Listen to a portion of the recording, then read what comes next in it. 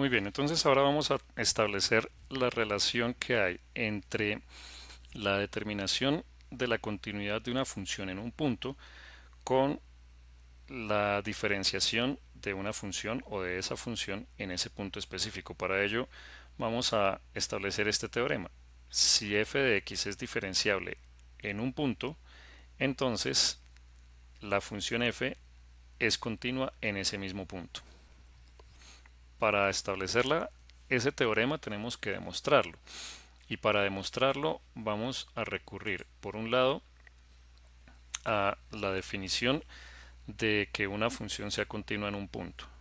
Resultado que ya lo tenemos aquí resaltado. Si una función es continua en un punto, significa que f de el límite cuando x tiende a x0 de f de x es igual a la función evaluada en ese punto. Entonces, y vamos también a recurrir a la definición de derivada de una función en un punto.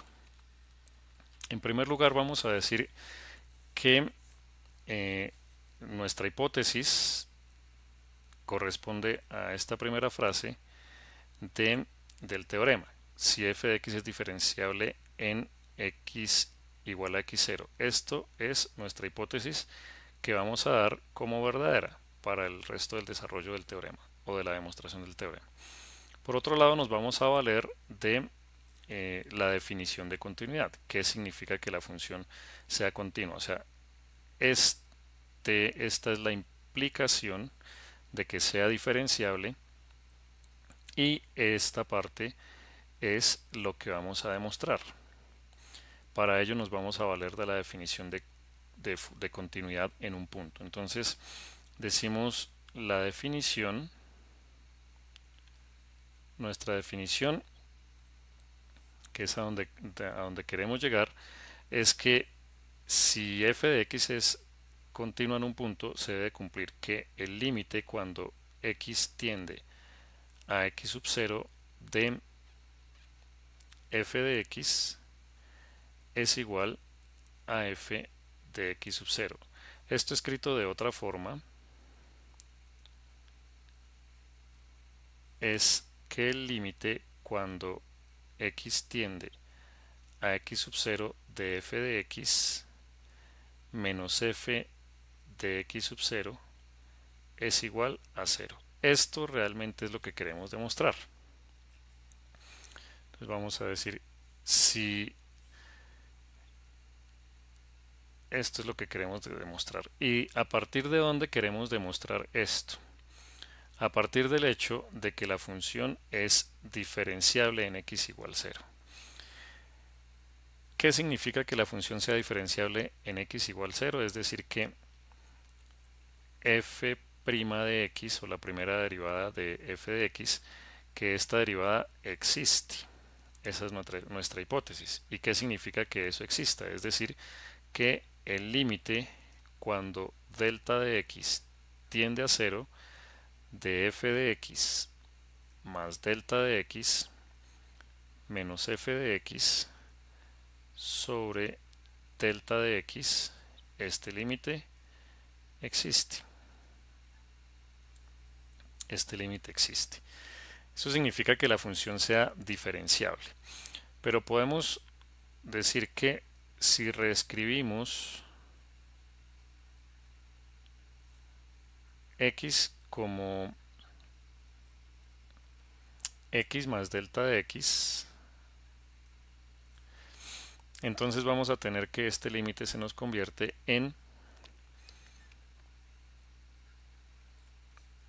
bueno digamos como estamos evaluando la función en un punto entonces realmente tenemos es la derivada evaluada en un punto o sea f' de x0 entonces podemos reescribir esto como eh, aquí sería x, x, x sub 0 teniendo esto escrito lo que significa es que este límite se puede replantear como el límite cuando x tiende a x sub 0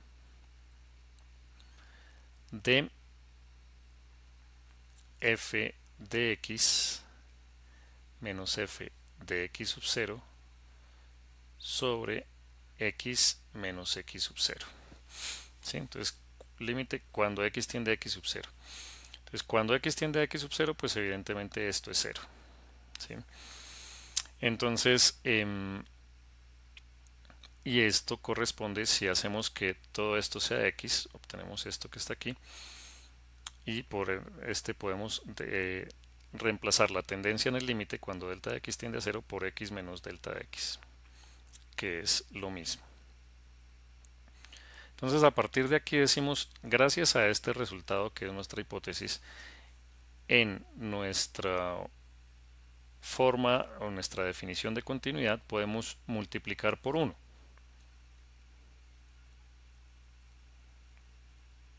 Vamos a decir multiplicando por un 1, pero ese 1 expresado como x menos x sub 0 sobre x menos x sub 0. ¿Qué vamos a obtener? Tenemos límite cuando x tiende a x sub 0 de f de x menos f de x sub 0 sobre x menos x sub 0 factor de x menos x sub 0, esto debe ser igual a 0. Permanece o conservamos nuestra pregunta. ¿Será realmente que esto es igual a 0? Es lo que queremos demostrar. Entonces, si eso es así, decimos, miren, lo que pasa es que esta parte, esta primera parte de, esa, de ese resultado que acabamos de obtener, corresponde a esta primera parte que es nuestra hipótesis. Son dos cosas iguales. Luego esto que está aquí es la primera derivada de f de x. Y esto que está aquí, cuando x tiende a x sub 0, esto tiende a ser 0. Luego aquí tenemos multiplicado por 0 que es obviamente igual a 0 y quedó demostrado nuestro teorema de de que si una función es diferenciable en un punto implica que esa función en ese punto específico es continua. Ahí, ahí, ya tenemos la demostración de ello. Entonces vamos ahora a terminar esta segunda lección con un ejemplo donde vamos a aplicar este, este teorema.